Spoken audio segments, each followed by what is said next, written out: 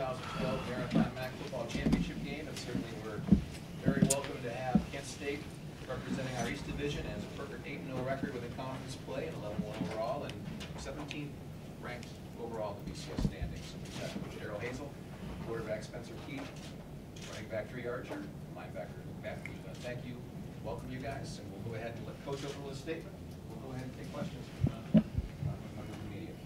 Well, good afternoon, and uh, we're certainly excited to represent the east side of the division in this MAC championship game. Uh, we really look forward to playing a great Northern Illinois team that's very similar to us in a lot of different ways. I think they play great defense.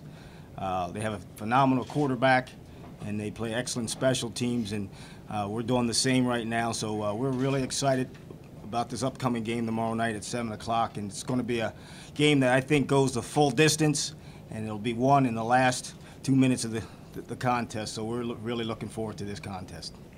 Coach, for you and Luke, um, Jordan's kind of like a linebacker playing quarterback. Just talk about the kind of problems he poses running the ball and passing. Well, he's so multi-dimensional. He um, he's able to run it. The thing that worries you is when he scrambles around and keeps the ball alive. We got to do a good job in the back end and, and uh, with our eye discipline and stand in coverage. Uh, but he's very tough. That's uh, the thing that he brings to the table. Is he likes to run between the tackles. He's very physical, and uh, he gets his team going because of that. like he said, he's a dual threat, and um, you know anybody that's like that is so much harder to stop because you know one play he could be you know just regular quarterback, and then you know next play he could be it's kind of like a wildcat formation. It's just you know it's uh it's tough to defend, but I mean you know make him turn him into a one-dimensional person, and you know it makes uh, things easier for us. Kind of been one dimensional. I mean, you just kind of concede some of that and then say, how are we gonna play him? Or do you really focus in on doing like everybody else does and try and make it? I think you got to try to to make him one dimensional. I think that's what our defense has been good at is making teams one dimensional. Uh, our big philosophy has always been to stop the run, and he's part of the run this week. Uh, so we got to do a good job early in the football game trying to contain him and keeping his runs to, you know, two-yard gains and three-yard gains, and not letting him out for those 15 and 20-yard gains that he's uh, been renowned for. Hey, Coach. Yes. Um, projected to possibly bust the BCS if you win this game, uh, maybe Orange or Sugar Bowl. Is that adding more pressure, or do you have any other thoughts on that? Our main focus is the game tomorrow night, and after what happens tomorrow night, we'll we'll let the experts handle that. But uh, our main goal is to kick it off at 7:01. Spencer, do you feel like you've kind of waited your whole career for, I mean, how do you, could you describe how you're feeling, just, you know, to finally be in a game like this? I mean, it is a great feeling. It's a huge opportunity for our team and our program, really, because it's been a long time since we've been in one of these situations. And uh, yeah, I mean, we've been waiting for this personally um, for four years now, and uh, it's finally here, so it's time to take advantage. Are you nervous, or what would you? nah, I mean, I'm not nervous now. Maybe right before the game a little bit, but um, I'm not one to get real nervous before games, so we'll see. The fact that you've got two great running backs, I, I mean, how do you handle the, you're almost like the game manager, are you okay with that kind of role? I mean, it's worked all year, so of course. I mean, we do have two great running backs and a great offensive line that um, opened some gaps and holes for them to run through, and uh, they've done a great job all year. So look to continue that. Spence, uh, last year against uh, North Illinois, you were uh, bench for, for Cedric McLeod. How far have you come since that game?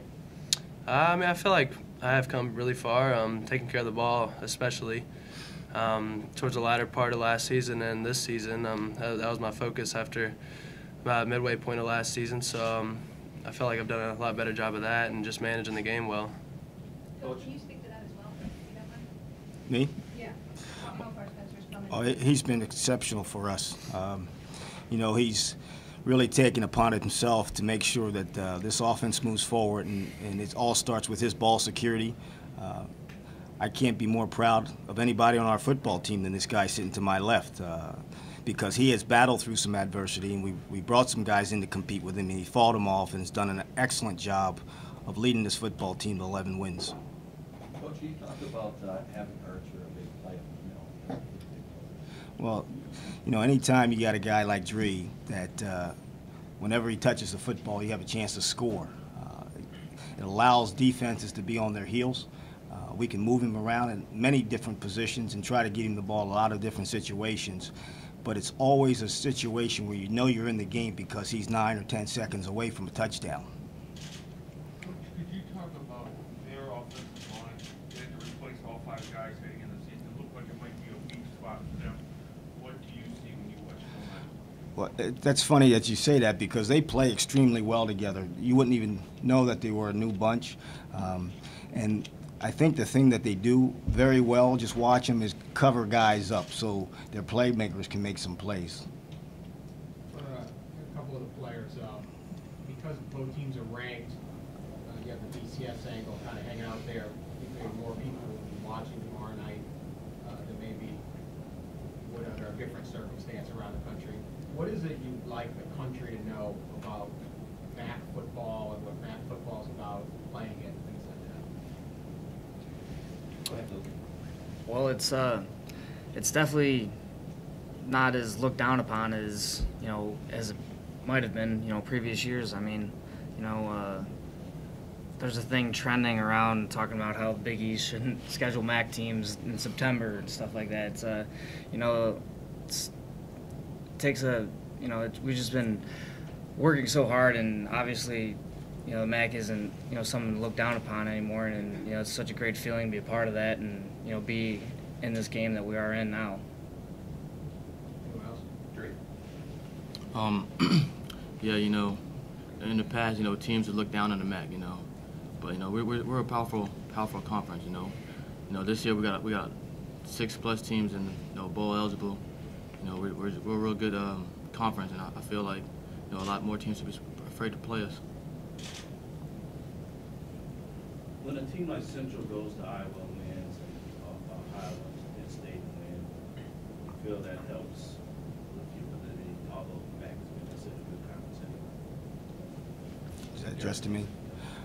Oh, I think so, and I have always said that, you know, in this league, the teams are, have a lot of talent, a lot of good coaching, and any time that you can play a team outside in a BCS conference, and you play them once or twice a year, you got a chance to win. Uh, would you want to line up with them 12 weeks in a row? Probably not, but if you go head-to-head once or twice a season, you got a chance. How much is the, and maybe this is just irrelevant, but how much is the stability of the conference structure related to considering what's going on around in terms of, uh, all the transitions with all the other leagues? How much is maybe that helping? That's been big, I think, because if you, you look across the globe uh, on the football scene, guys are leave, teams are leaving conferences left and right, and this conference has been solid for quite some time now. I mean, you get one or two teams in and out, but it's been very solid for a long time. But Can you talk a little bit about um, just this incredible turnaround that's happened so quickly? I think um, a lot of people that do follow the program felt when Coach Hazell came in that it was certainly something that was going to happen. I think what stunned everybody is just how quickly it's happened. And I, and I talked to Spencer and Dri a little bit about this. The reason why I asked you is because I wanted the defensive side of you, if I could, in terms of when, when did this, when did you feel this happening? Um, like quickly, you know, little by little, you probably felt, was there a point where you kind of said, you know what, this team, there's something to this team? And then also if you could speak to the leadership of Coach Hazell and just what he's brought that's kind of different. Um, it's, you know, a turning point was, you know, probably, you know, after our bye week last year, which is, you know, really when it has been, and it's uh, it's been more of a, you know, people just, I mean, we got a lot of people, like players on the team that, um, you know, have a lot of trust and faith and, you know, Coach Hazell and you know all of our other coaches, and you know, obviously we haven't, you know, been that great of a team, and it's just we have a lot of determined players that want to be great, and you know we're gonna do anything they can to, you know, be great, and um, which is probably why we've you know had such a quick turnaround, you know, winning 15 of the last 17 and stuff like that, and it's uh, you know, it, it's you know, tip of the hat to Coach Hazell, and you know, you know, keep grinding on us, and you know, keeping with that, you know, keeping at us about you know being great, and you know, it, it's just that's why you know we had such a quick turnaround. You know, we all had determined players to you know be great and have a turnaround. Coach, did you expect to be here? Did I expect to be here? Um, I definitely expected a lot of success, for sure, when we started the season. Uh, just looking around in our locker room, um, the talent level and the co- coaching staff, and you know, we think that we're a pretty good football team coming into the season. You never know what what's going to happen throughout the course of the season, but uh, I knew we had a chance to be pretty good. What's the difference between five and seven and then this? Well, I think is it's uh, a little bit what Luke touched on, the, the closeness in our locker room, um, a trust, a belief, and, that, and if you look at our guys' eyes, they never get down, they never get rattled, and uh, there's a, a quiet confidence about our football team, and I think that's the difference between five and seven and eleven and one. Reed, talk a little bit about, and this may go with some of the same questions, talk about your health, number one, and then number two, maybe especially kicking on this, this is the first year, I think, in maybe five, six, seven years, where you haven't had an injury at quarterback, where the same quarterback that started the season finished the season. How big was that? Some success. How healthy are you, is. Oh, I'm, I'm good. You know, I'll, be ready to play tomorrow night. but at the beginning of the season, you know, the coaching staff and Coach Hazell, you know, they they wanted to minimize my touches as less as possible. So it's like 15 to 20 times a game. You know, to keep me in the back end of the season, as in November and, and now. But I mean, now the last few weeks is giving the ball as many times as you can. But um, yeah, you know, having a healthy quarterback that helps out the team a lot. You know, when you transition quarterbacks, you know, players start to get down. You know, they start feeling sorry. But when you have one good quarterback like we have at Spencer all season, you know, it helps things out a lot. How does it feel being on such a big stage like this tomorrow? Oh, it feels good. You know, this this is why we play the game. You know, we we uh we've been we've been working hard all, all year for this. You know, we just ready to play tomorrow night. Let's talk about being healthy and how much that has played into, not just you, but the whole team. I think you did, you haven't had many injuries along the secondary all year. Correct. We had uh, Calvin Teagle we lost uh, in the Army game, and we lo- lost Tyshawn Good before the season even started, second or third day of practice, but that was it. Yeah, I mean, I think it definitely helps, just that consistency factor. Um, just um, for me personally, being able to lead the team throughout the season and uh, not having to worry about that injury. Um, like I did my freshman year, I mean, that happened then and it definitely hurt. But um, yeah, it definitely helps some. Just the confidence in the players, I think, um, stays up and you don't really have to think about switching quarterbacks or how this guy's going to respond to a different play- player on the field. And I think when you have a mature team the way we do, know, some older guys that played a lot of football, you don't have to practice as much. Um, and when you can take the pants off halfway through the season and quick whistle practices, you keep guys healthier. And I think that's helped us a lot down the back end. Spencer, you and uh, Eric Eddie, I mean, have had a couple big plays over late in the last couple of weeks. Can you just talk about the chemistry you two developed late in the season? Yeah, I mean, it's really just the play calling. I mean, um, he's gotten a lot more confidence over the over the year, and uh, I think I don't know. It started probably in that Army game when he had that big touchdown on the corner route, but um, we do have some chemistry working right now, and um, hopefully it keeps up uh, tomorrow night. Coach, I noticed some in USA Today where they had the coach's salaries in the bonus money. And I think they said something, if you went to a BCS, it would be zero. Did did you kind of wish that maybe, you know, you would have? I should Didn't probably- see this coming. Well, I should probably rene- renegotiate my contract with our athletic director, Joel Nielsen, back here. no, we don't worry about that right now. Did you not think of uh, adding that provision? no, actually, I didn't, to be honest with you. You mentioned earlier the, the stability of the league you think is helpful. How, how is that? Is that just when you're out recruiting, people know what the MAC is? Why, why does it help? Well, the other leagues, you know, some of them have been revolving doors here the last couple of years, and uh, for whatever reason, I'm not saying that's good or bad. Uh, it's just the way it's been, and this one has not been, and uh, that's why it's been so solid. Did you feel that you had a chance to really move up? Because, I mean, if you look at at the MAC, I mean, since two thousand, every school that's been in this Hmm. championship game said Eastern. I mean, so did you kind of feel like this is a conference where, why not? Well, that, uh, that's absolutely one of the reasons why I took this job was because I thought that the, the parity in the, the teams that are, they're all comparable in the league. And if you study this league, um, anyone has a chance to win it.